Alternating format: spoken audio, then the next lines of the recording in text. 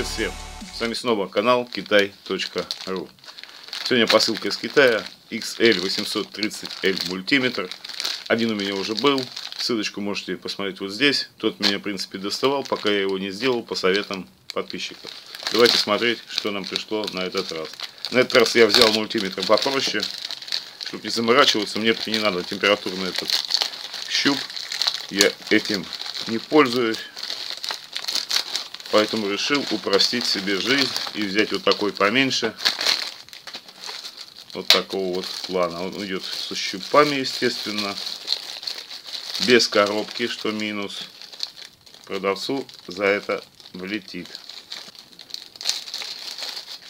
Посмотрим, как он дошел.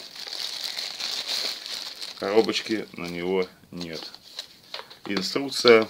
Ну, тут какие измерения может делать такая вот инструкция, мануальчик на английском языке. Реально перевести, кто вообще ничего не знает о мультиметрах. Вот такой вот мультиметр. Насколько я понял, батарейка здесь не вставлена.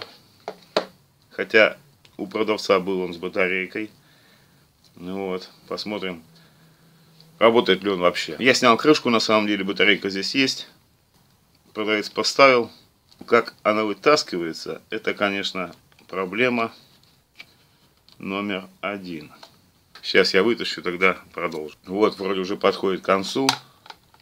Но батарейка стоит, и контакты закреплены. И включения нет. А, нет, его надо было повернуть, ребят, извиняюсь.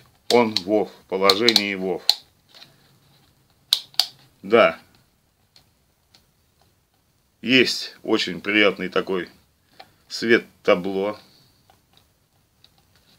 Так, ладно, пока мы вставляем все назад, закрепляем все назад, как было.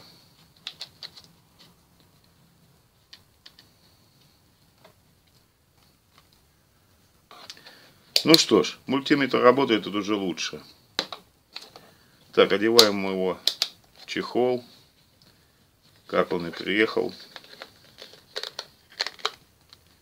Вот эта вот штучка не вытаскивается. То есть можно ставить как в чехле, так и без чехла. Приятный на ощупь, очень приятный мультиметр. И он бы пришел в коробке, вообще бы изумительно все, даже вообще ни о чем разговоров не было. Ну ладно. Провода для тестера. Провода, конечно, не ахти качество. Я заказал хорошие провода, но они не пришли. Но все, в принципе, хорошо влезло. А этот нехорошо влез. Нет, все хорошо. Так, ставим его, как он должен стоять. И включаем на измерение вольта. Вот. Я вот табло включаю. И вот мой аккумулятор. Это не батарейка, это аккумулятор. Посмотрим, что он нам покажет.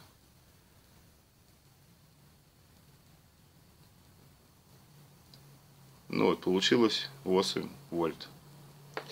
То есть рабочий. Я его проверю, потестирую, погоняю и уже скажу вам, хорошо ли покупать такой мультиметр или нет. Но дам ссылку на другого продавца. Этот мне не понравился из-за того, что он прислал мультиметр не в коробке.